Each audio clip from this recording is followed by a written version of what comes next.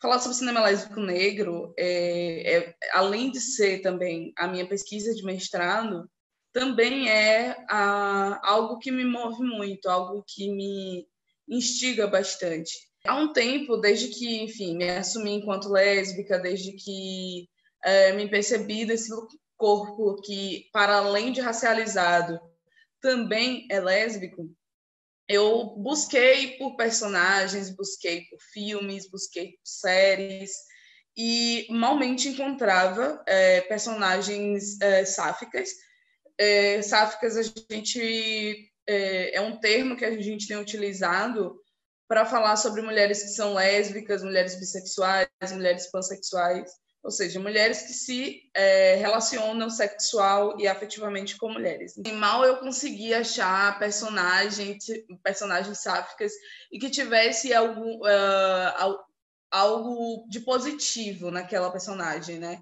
É, não que todas as personagens tenham que ser boazinhas ou não possam ser vilãs, etc. E tal. Mas o que me chamava atenção é que é, todas as personagens elas se encaixavam em certos padrões. E esses padrões, eles eram padrões muito estereotipados. E se uh, eu usasse o filtro da questão racial, se eu tentasse buscar por mulheres sáficas e não brancas, né, é, o, o caldo ficava ainda mais grosso, né? Então, assim, eu foi a partir daí, foi isso que me deu um pontapé inicial para poder começar a pesquisa. É, para além disso, também, eu, eu, pude, eu tive a oportunidade de ler um livro uh, sobre um projeto que existe nos Estados Unidos desde o final dos anos 80, mais ou menos, uh, que se chama Sister in the Life, que é um, um projeto uh, que eh, visa é, entrar em conjunto com outras mulheres negras que também façam, uh, produzam audiovisual, né? E como também no, nos anos 80 anos 90 também produziam vídeo, né? Então, uh, junto, dentro desse projeto System the Life tem um outro uh, subgrupo que visou pesquisar, visou uh, levantar dados sobre mulheres negras e lésbicas que estivessem produzindo audiovisual. O que chamou a atenção das autoras né, desse livro, e que também são as pesquisadoras desse projeto, é que boa parte dessas mulheres negras e lésbicas, elas não se viam enquanto cineastas, né?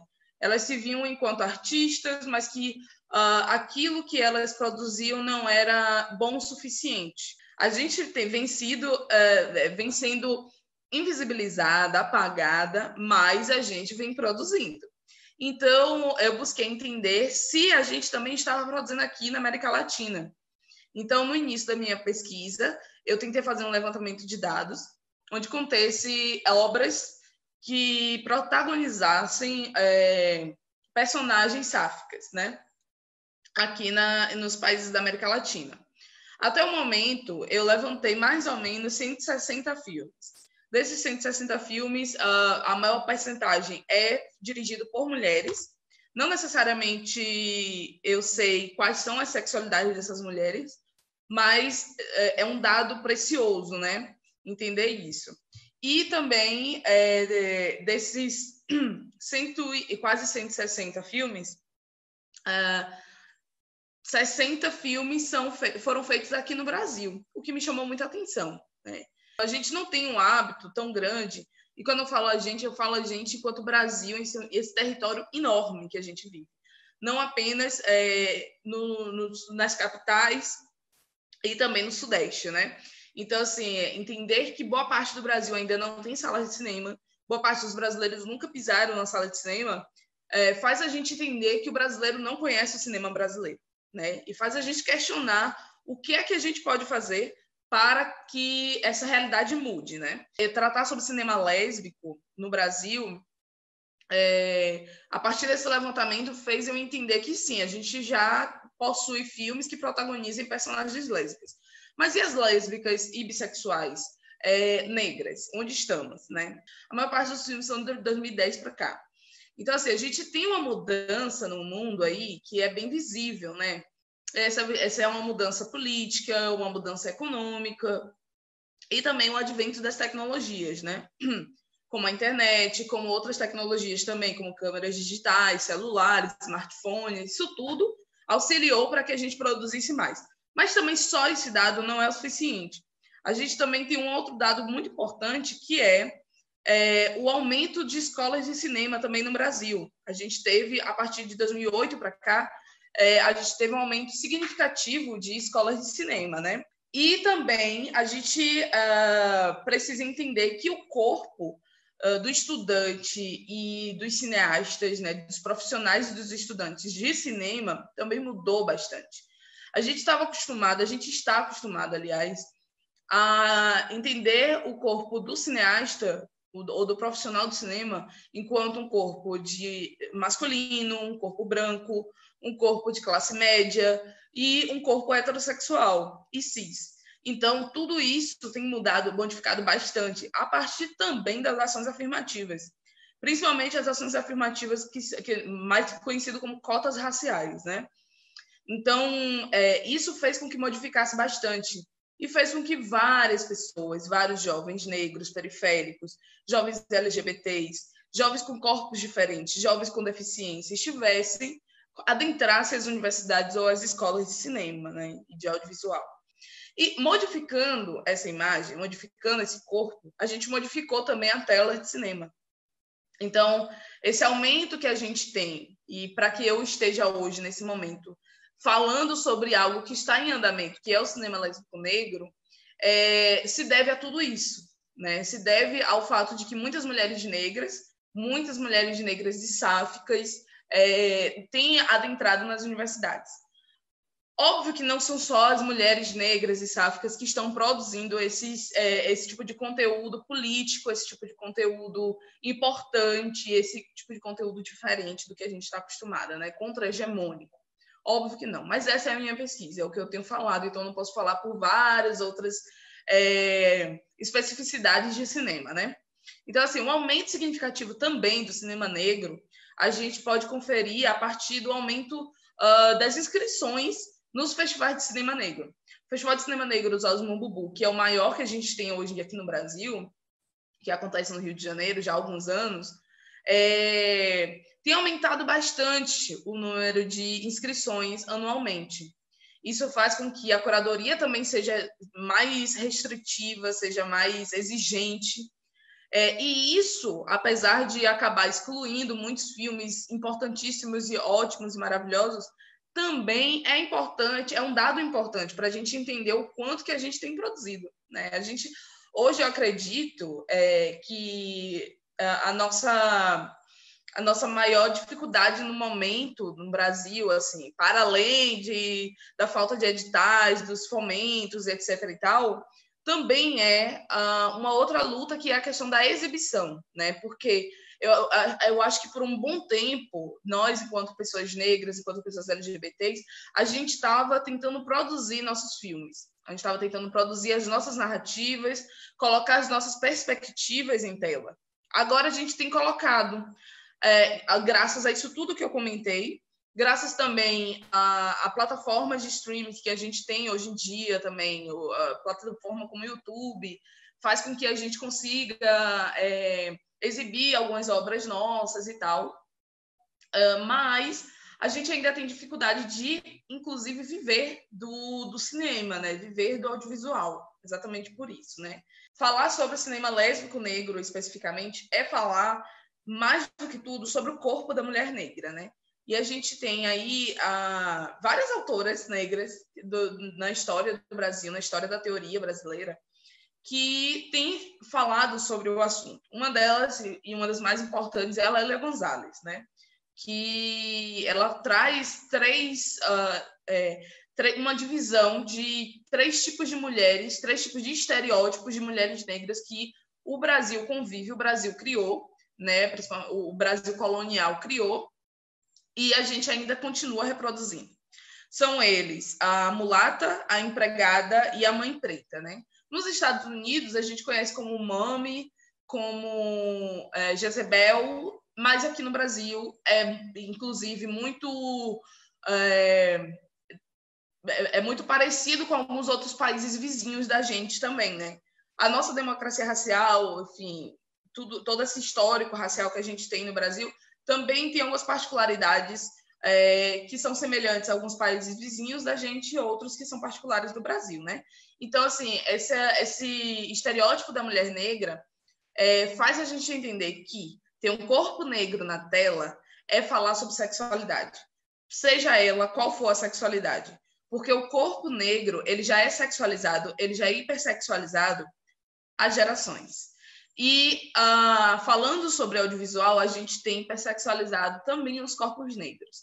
Então, se a gente hipersexualiza esses corpos, então a gente está falando de sexualidade também. Então, é, falar sobre sexualidades contra-hegemônicas, né? Então, que é exatamente o que a gente está uh, fazendo aqui, né? A gente está produzindo conhecimento, a gente está produzindo é, novas, novas perspectivas sobre essas sexualidades contra-hegemônicas. É, é, é, também um assunto que está dentro do corpus do, da sexualidade negra, né? Então, falar sobre masculinidade negra é falar sobre sexualidade, falar sobre é, gays, gays uh, várias, várias formas de, de ser gay e ser negro, é falar sobre sexualidade negra. Quando vai falar sobre o corpo da mulher lésbica e negra, a gente está falando sobre a hipersexualização e a fetichização. A gente tem um dado muito importante que é a primeira mulher negra a, a, a exibir um, um longa-metragem, uma sala de cinema comercial no Brasil, foi nos anos 80. Foi a, a diretora Adélia Sampaio, que ainda está viva, graças a Deus. E é, mas mesmo ela tendo exibido esse filme nos anos 80, a gente só foi conhecer ela agora nos anos 2000, a partir do, da pesquisa de doutorado da professora Edileuza Penha da UNB. Então, assim, quanto tempo a gente demorou para poder conhecer a primeira diretora negra a exibir um, um longa-metragem em uma sala comercial? E ainda tem um outro dado importante, aliás, dois dados importantes. É, é, a, a Adélia Sampaio, ela só conseguiu exibir o seu filme em uma sala comercial de cinema pornô. Por quê? Porque ela tratava de, aí vem um outro dado importante, ela tratava de um casal homoafetivo, um casal de mulheres, é, que, enfim, uma, é, a sinopse é que uma delas morre e aí isso tudo vai para a justiça. Então, a Adélia Sampaio, ela discute nos anos 80 sobre a homossexualidade feminina, ela, ela trata sobre a lesbianidade em um longa-metragem, sendo ela pioneira enquanto mulher negra, né? Então, é, esses dados são extremamente importantes para a gente entender também a importância de nós, mulheres negra, negras, estarmos colocando nossas perspectivas em tela, né? Então, a gente trata aí sobre uma grande questão, que é a fetichização do corpo da mulher lésbica. Essa fetichização fez com que as pessoas é, entendessem que aquele filme não poderia estar em uma sala comercial comum. Ela teria que estar em uma sala é, comercial pornô, porque é, se trata de duas mulheres que se relacionavam afetivo sexualmente. Né? O outro filme que dirigido por uma mulher negra e que foi para uma sala de cinema por, por conta de muita luta, inclusive, foi a da Camila de Moraes, que é uma cineasta negra, que fez um filme chamado O Caso do Homem Errado, e que ela conseguiu levar para as salas de cinema de algumas cidades no Brasil. E ela só conseguiu exatamente porque ela batalhou bastante para poder conseguir exibir seu filme. Né? Então, só que a gente demorou mais de 20, acho que foi mais de 25 anos que a gente conseguiu é, para a gente conseguir colocar um, um, filme dirigido por outra mulher negra na sala de cinema. A raça, ela, é, é, ela atravessa tudo na nossa vida. Tudo. A gente pode falar sobre qualquer coisa, a gente pode atravessar a questão racial também nisso, sabe? Tem estado em tela minimamente, mas tem estado em tela, tem ido para salas de cinema, inclusive, e é, mesmo tendo sido dirigido por homens heterossexuais, mesmo com uma visão masculina e fetichizadora, mesmo com uma visão também que é muito comum nos filmes é, que tratam sobre personagens lésbicas, que é, é uma, uma hiperdramatização assim da, da, dessas relações, né? Existe um sofrimento muito grande nesses filmes, na maior parte desses filmes. É, é, geralmente a gente não encontra filmes que tratem sobre lésbicas e que tenham finais felizes, por exemplo. Então, se a gente não está conseguindo é, tratar sobre finais felizes de lésbicas brancas, quiçá lésbicas racializadas, né? Lésbicas não brancas. Então, essa é uma grande questão assim para a minha pesquisa e para quem, enfim, está batalhando dentro do cinema e tentando trazer outras perspectivas, né? O cinema lésbico negro, para mim, eu, já, eu é, falar sobre racismo, falar sobre sexismo e falar sobre lesbofobia, né? São três são três opressões é, imprescindíveis para entender o que é esse cinema. É, tem muito pouco tempo que a gente tem, é, é, a gente tem visto filmes que são dirigidos por mulheres negras e lésbicas e que protagonizem essas relações. É, segundo essas autoras que eu comentei logo no início, é, dos Estados Unidos, uh, para ser um cinema lésbico e negro no pensamento delas, nos Estados Unidos, tem que ser feito por, para e sobre lésbicas negras. É, isso eu acho que é um pouco uh, diferente se tratando de América Latina, porque, infeliz, porque querendo ou não, coloniza as colonizações foram muito diferentes né, em cada país. E a forma como a questão racial é lida nos Estados Unidos é muito diferente de como é lida no Brasil. Uh, para minha pesquisa de mestrado, eu preferi é, estudar sobre filmes que foram que também seguiram esse caminho, que foram dirigidos por lésbicas negras sobre lésbicas negras e para o público em geral, porque eu acho que não precisa ser para só, somente um público, né? Eu acho que essas especificidades de cinema, esses cinemas contra-hegemônicos, ele vem para mostrar que qualquer tipo de assunto pode ser para qualquer público, né? A gente é, entende bastante que existem esses estereótipos, é, esses arquétipos muito demarcados uh, sobre o que é ser gay, o que é ser lésbica, o que é ser bissexual, o que é ser trans. E, e para além as outras sexualidades também. Então, assim, é, é muito importante a gente é, é, consumir audiovisual, consumir cinema com esse olhar crítico. A gente entender que a, a mera inclusão de um personagem, é, uma personagem lésbica negra, ou a gente pode trocar esse corpo também por outro. É, isso não quer dizer que é uma representação positiva. Então, a gente está em busca de representações positivas, a gente não está em busca apenas da inclusão. E é, a gente também está em busca de, de, de, entender que, para além do, desses personagens que estão na tela de cinema e que estão falando sobre algum tipo de assunto importante para a gente, ou não também, pode ser um besterol, é, a gente também tem que entender o que é que está por trás, né? Porque a gente tem falado bastante sobre alguns, uh, alguns termos como pink money, como black money, essas coisas, que é entender que o público negro, o público LGBT, é, também está consumindo, também tem dinheiro, né? Então, quem é que está se apropriando desse dinheiro?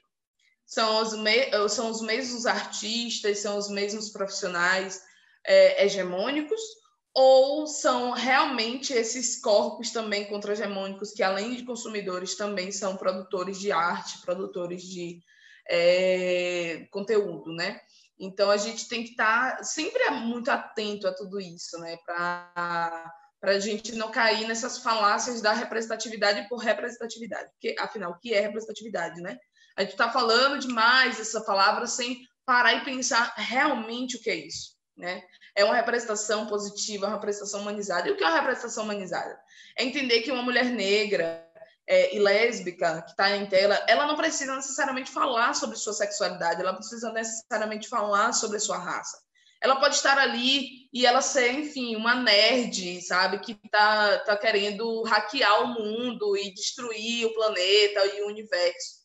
Ela não precisa estar tá falando da raça dela o tempo todo, porque o corpo dela presente ali é um corpo político já eu inicialmente eu queria falar sobre personagens lésbicas em telenovelas da Rede Globo. É, eu, eu encontrei uma pesquisa muito interessante de, de uma outra pesquisadora que fala sobre é, personagens LGBTs é, em telenovelas.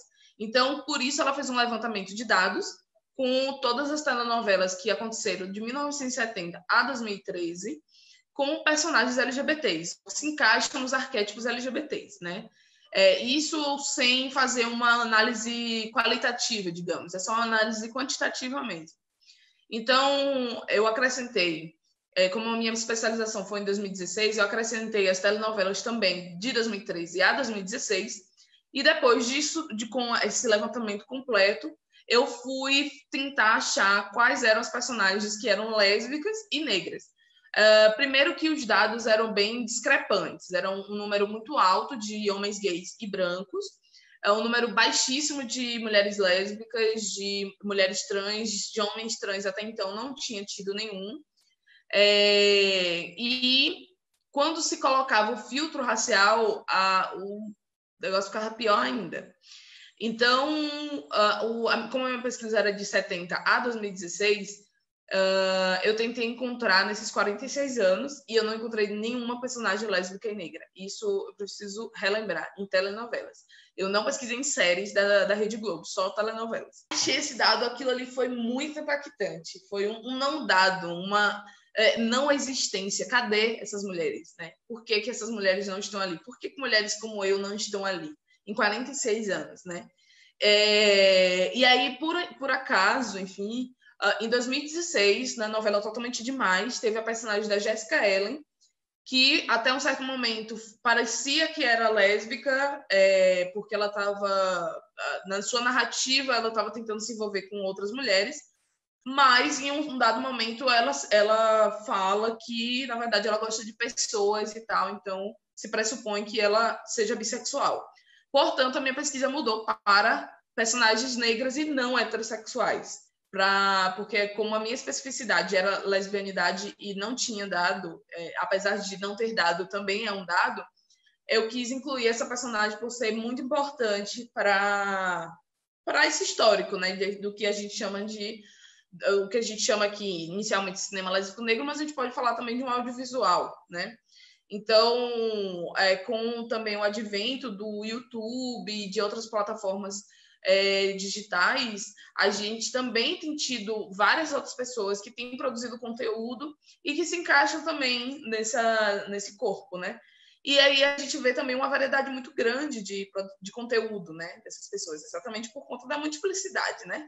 Não é porque somos negros que somos todos iguais e assim sucessivamente, né? Em termos de representatividade trans no cinema brasileiro, Hoje nós estamos num lugar um pouco melhor do que há cinco, seis anos atrás.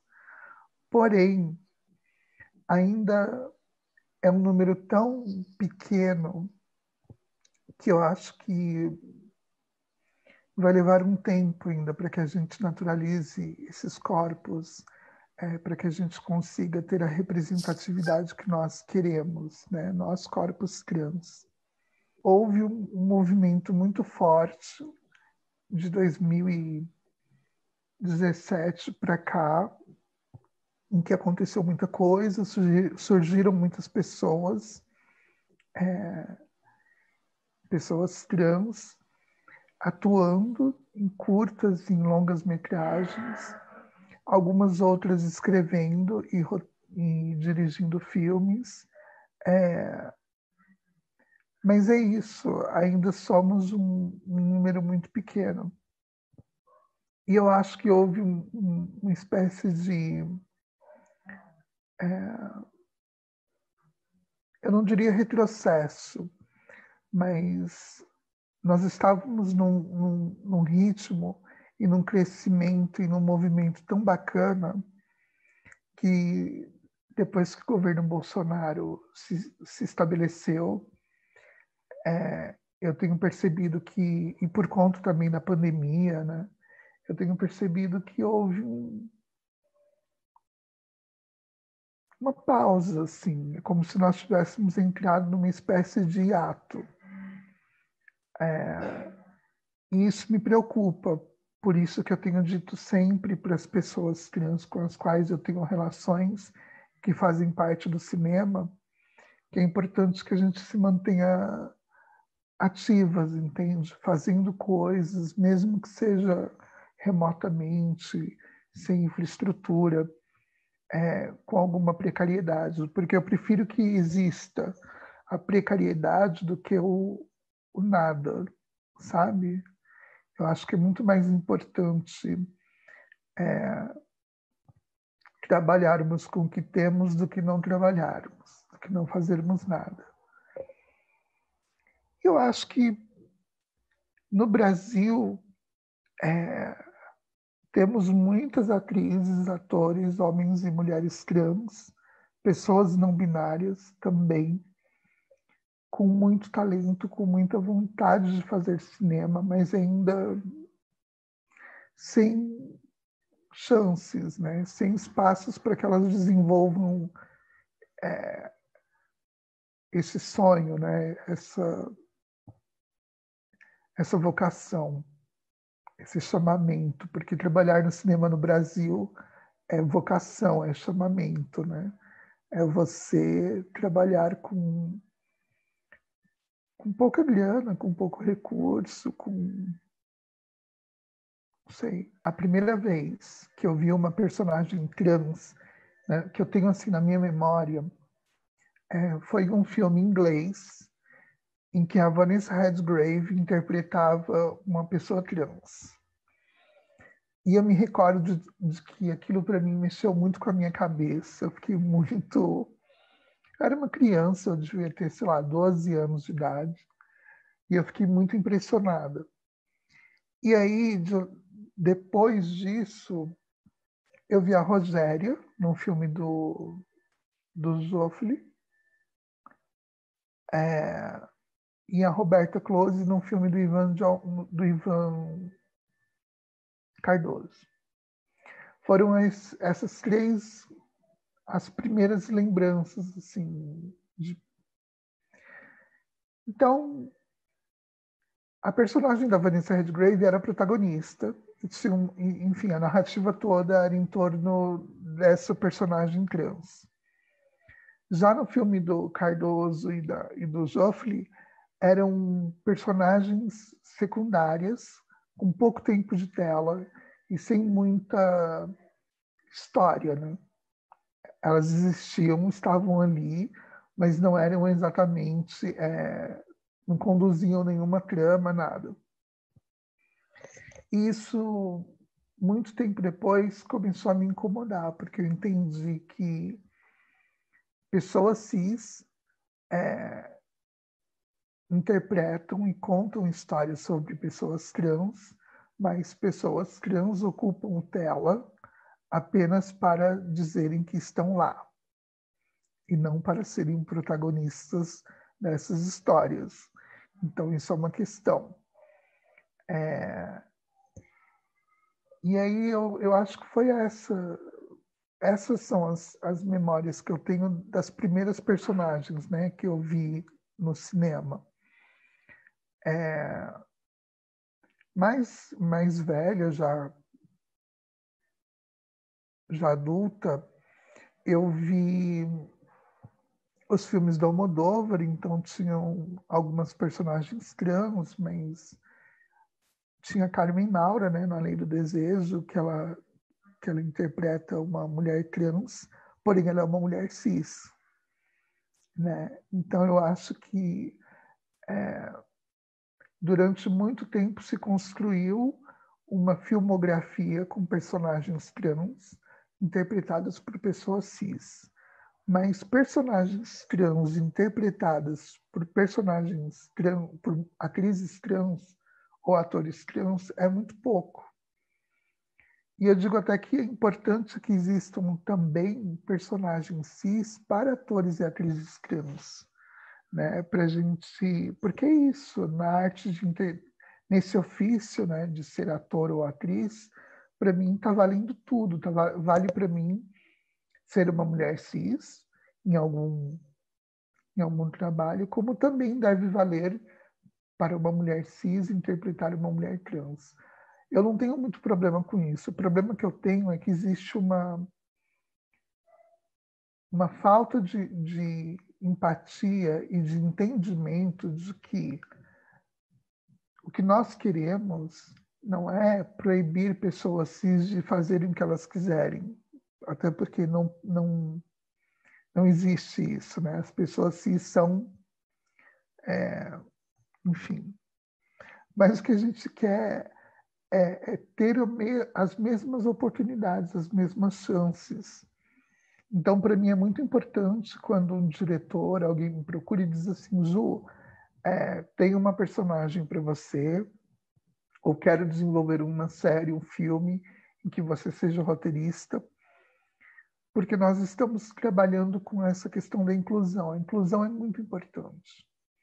Agora, tem pessoas que, por exemplo, pensam: ah, quero fazer um filme sobre pessoas trans, pessoas cis. E o máximo que elas alcançam é, é o achismo, né? é fazer um filme de acordo com aquilo que elas imaginam que seja. E aí acabam fazendo filmes que, que não praticam essa inclusão que é tão importante e que eles também defendem. É, não sei, para mim é uma, uma questão muito séria, assim, tem que ser muito conversada, muito pensada. A Cláudia Wonder, quando, quando começou é, fazendo cinema e fazendo teatro. Ela fez Excelso, trabalhou na oficina. É, e, e, é engraçado você falar do filme do Dácio, porque para mim o filme do Dácio, durante muitos anos, foi um filme referência para mim. Muito antes de eu pensar em fazer cinema, em trabalhar com cinema, eu assistia o filme do Dácio e ficava com o filme dele na minha cabeça pensando, meu Deus, é isso, sabe? precisamos ser protagonistas é, de narrativas, de histórias, não só é, a coadjuvante, sem, sem propósito, sem uma. Não é nem sem propósito, mas é sem um arco dramático, sem coisas que, enfim, apresentem de uma forma mais rica.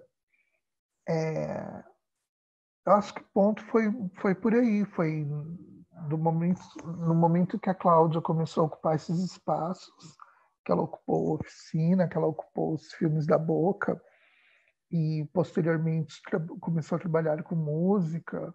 O filme do Dácio, para mim, é um ponto também de partida. Ele apresentou uma, uma personagem muito forte.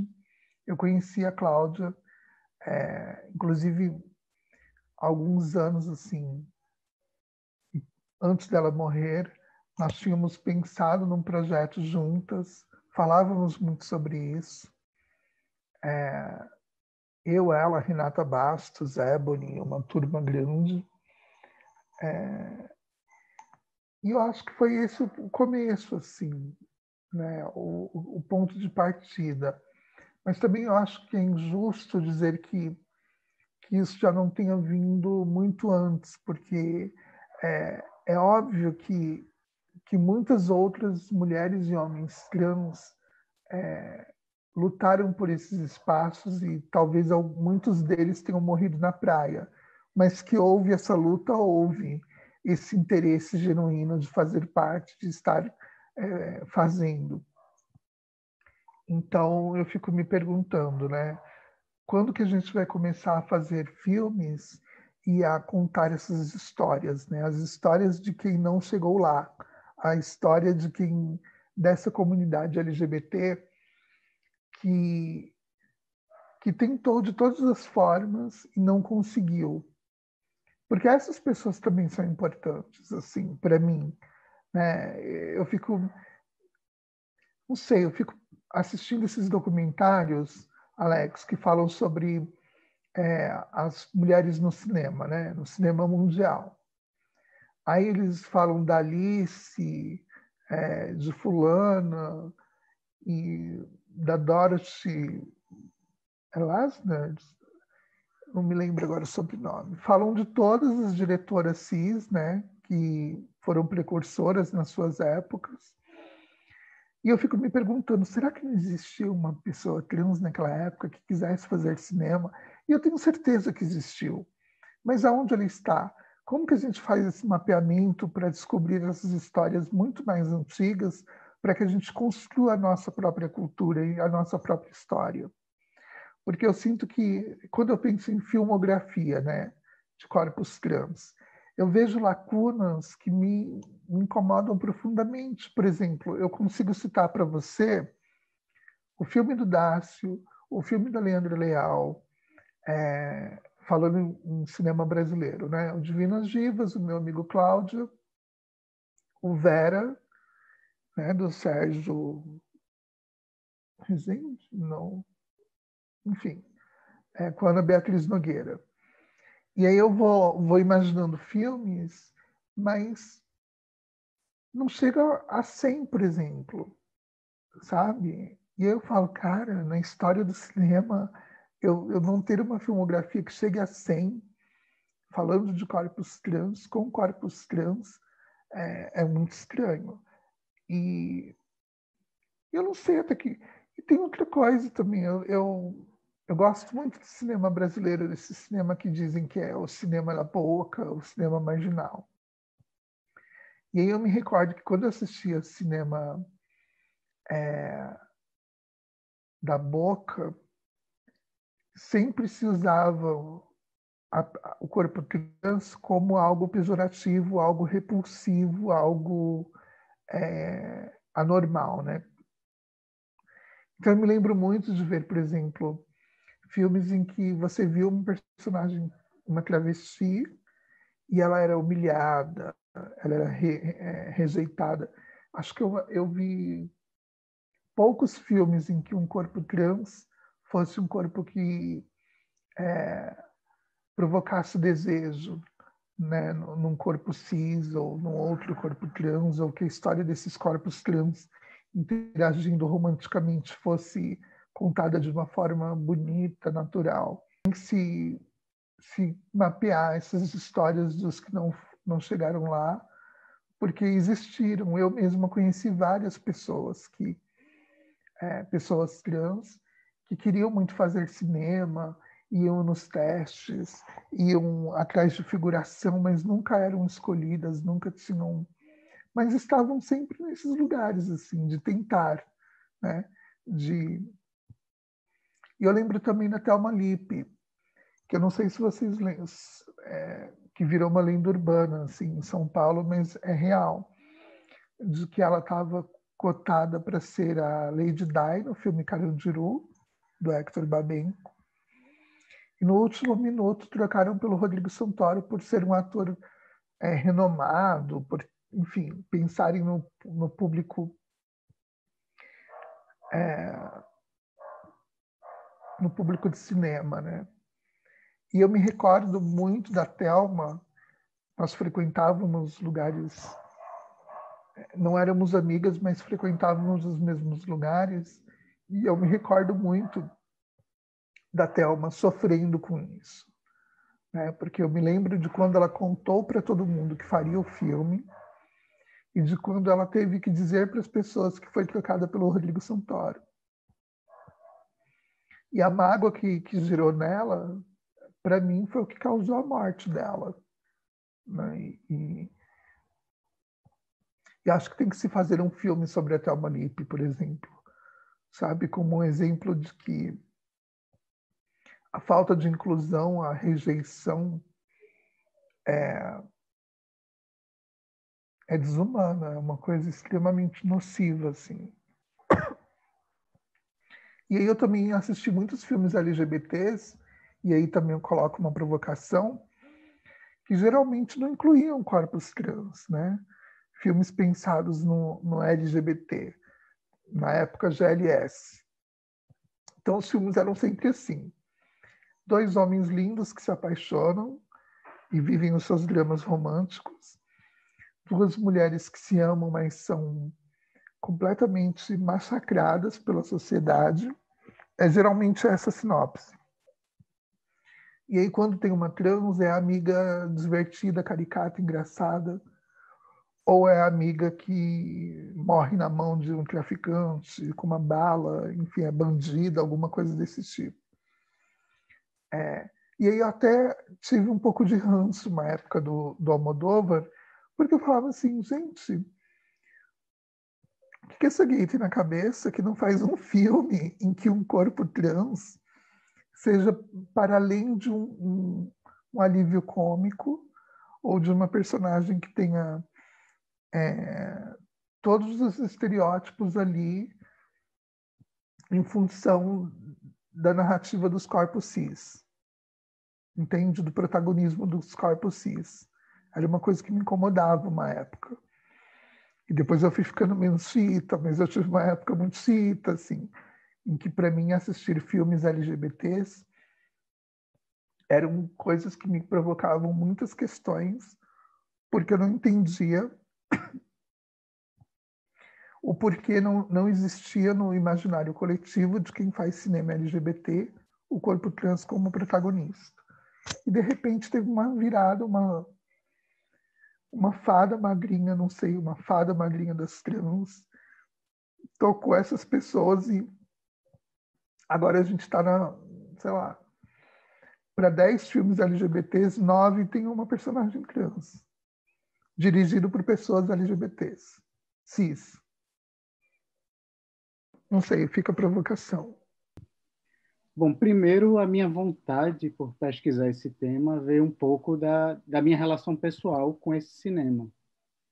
É, eu acho que, como todo mundo que cresceu ao longo dos anos 80 deve ter passado, a gente tinha uma certa ausência de, de representações para se identificar. Na TV, no cinema, a internet nem existia.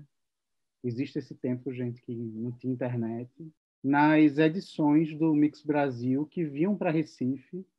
É, eram edições pequenininhas, de, sei lá, três dias no máximo.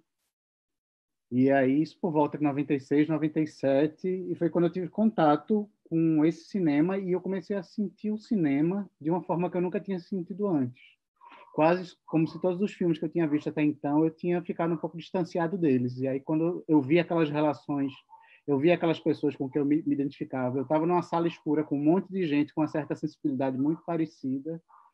Isso meio que me despertou para a força é, é, desse cinema para certos grupos que historicamente não estão representados, né? Como aquilo mexe com a energia que eu não tinha nem ideia até então que era aquilo. Então foi meio que um processo natural quando eu fui começando a pensar em entrar para a área de pesquisa acadêmica, eu ir para esse tema, né? A gente tinha poucos estudos assim e tinha um estudo clássico que estou é, até com ele aqui, que é esse livro, é, a personagem homossexual no cinema brasileiro.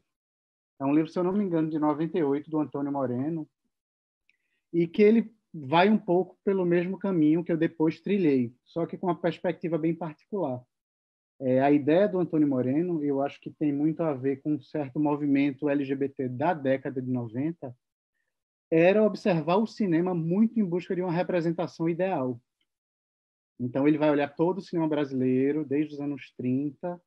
A visão crítica dele é sempre é, embasada no que é, o movimento da época identificava como uma representação ideal, que era uma representação é, é entre dois homens, onde a feminilidade não, fa não fazia muito parte, é, criticava muito uma pegada que tinha de, de, relações marginais, de classes mais baixas, enfim, era é, todo o cinema ao longo de toda a história do Brasil ele era visto muito com essa busca por esses personagens um pouco idealizados e, e no, nas palavras do Antônio Moreno posi representações positivas, né?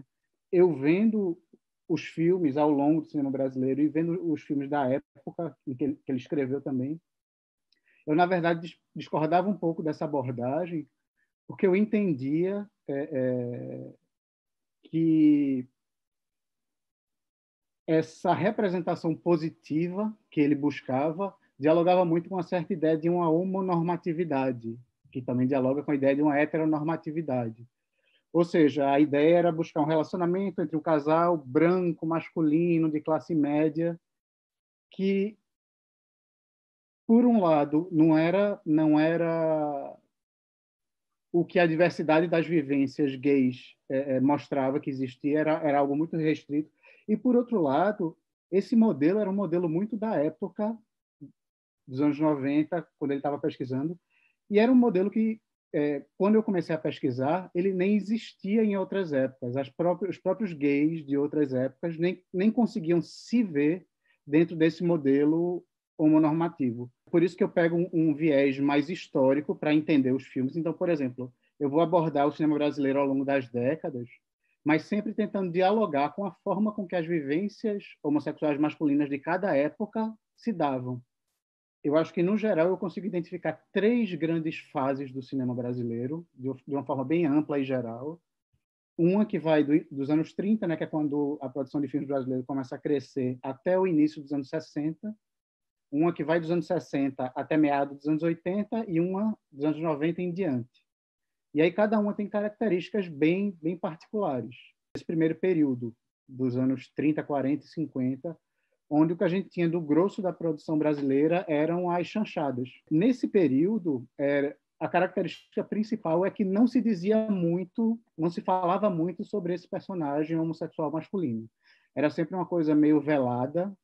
É, as plateias entendiam que era um personagem gay. Eu estou falando gay no sentido que a gente usa hoje em dia, mas na época a palavra gay nem existia, né? Você tinha, por exemplo, é, os frescos, os pó de arroz, tinha vários outros termos para designar. E aí esses personagens eram entendidos muito pela, por uma certa efeminação, certos modos delicados. Não se falava sobre a sexualidade deles, eram personagens quase que assexuados, né? E geralmente era um mote do, do humor do filme. É, outros personagens zombavam um pouco desse, desse perfil particular. É algo que vai se perpetuar no, nos programas de TV de humor até recentemente.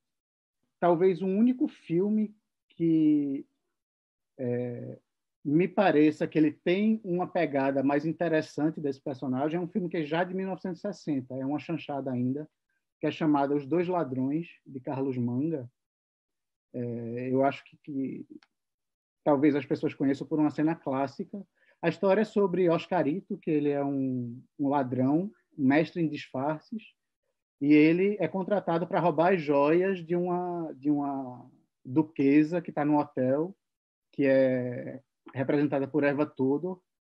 E aí ele é mestre dos disfarces. A ideia é que ele se vista dela, se passe por ela e consiga entrar no quarto.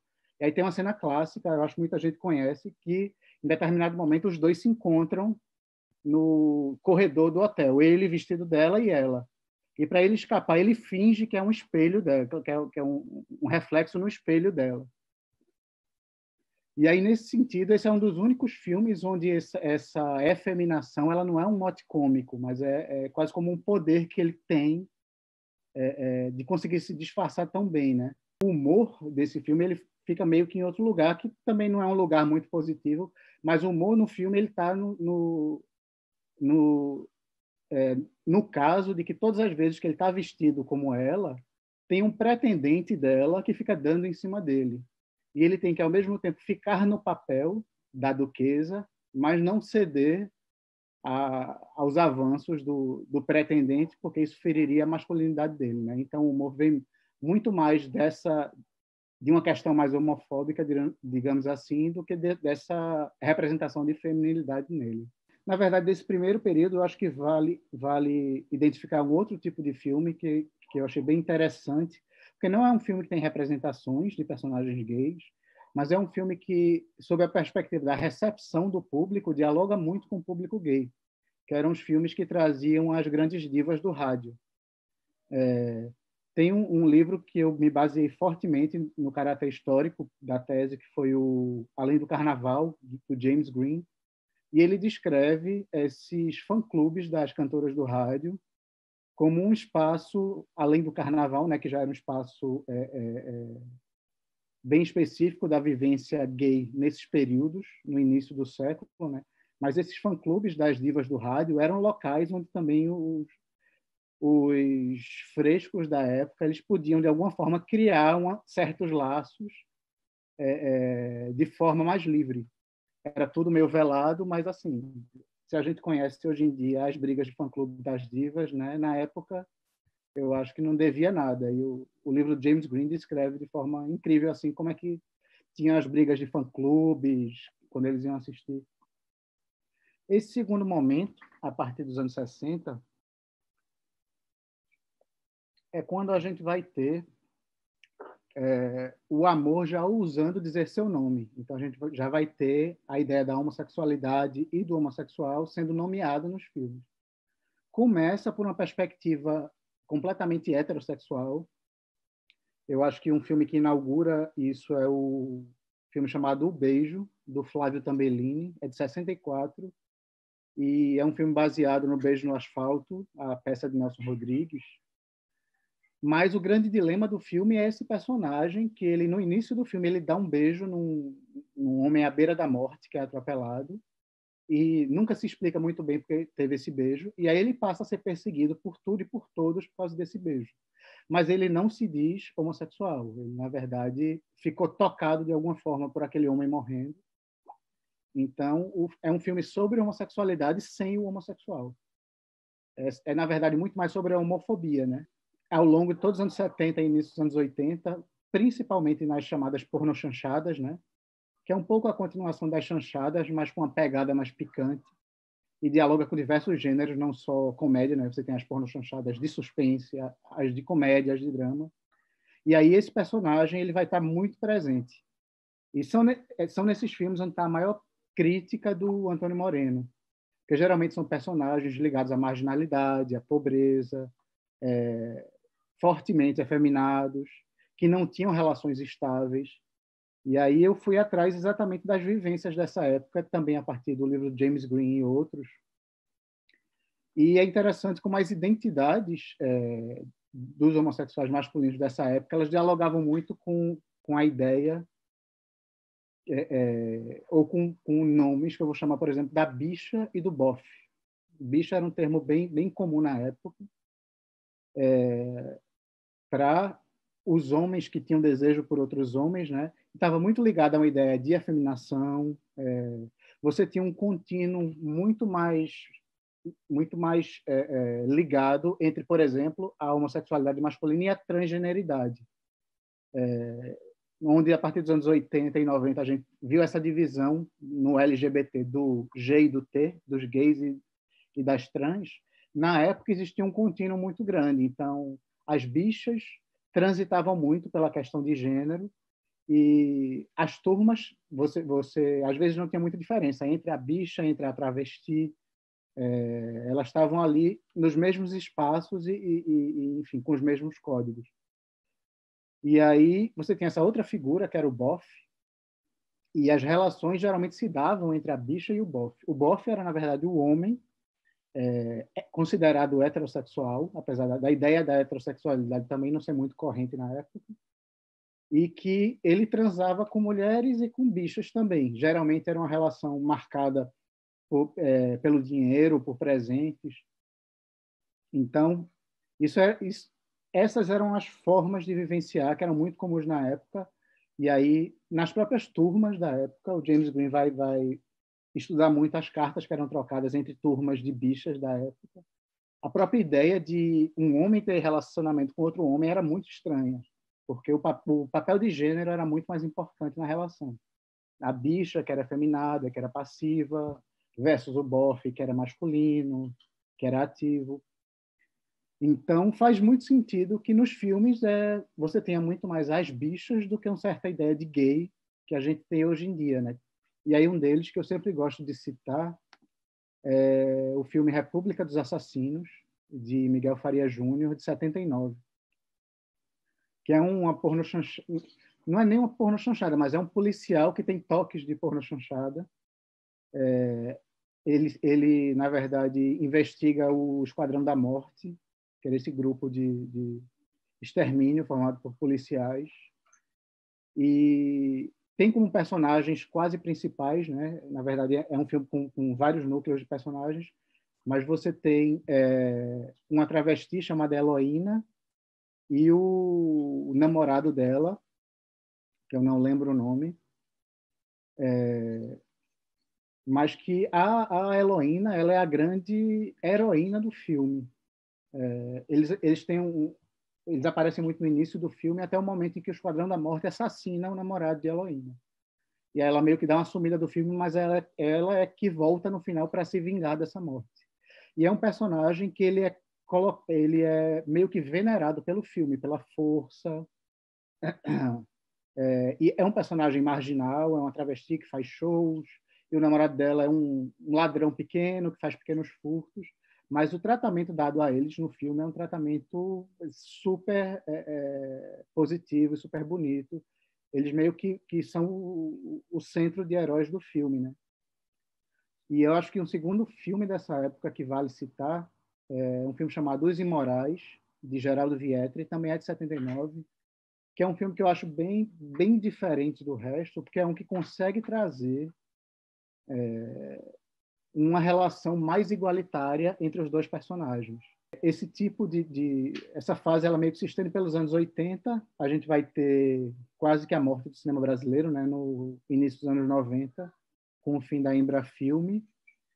E é um período que é, você, a gente vai ver o surgimento do Mix Brasil, e eu acho que é o festival, o primeiro festival é, de cinema LGBT aqui do Brasil, né? na época não era nem LGBT, era GLS, mas é um festival que ele vai, pela primeira vez, trazer filmes que nunca tinham sido exibidos no Brasil antes, filmes que trazem é, é, abordagens e representações LGBT bem diferentes do que o público daqui estava acostumado e, mais importante, vai dar espaço à produção daqui é, que é, nos anos 90 é um período que quase não estava sendo produzido longas, né? a gente vai ter a ideia que vai ter uma retomada da produção de longas a partir de 95, com Carlota Joaquina, né?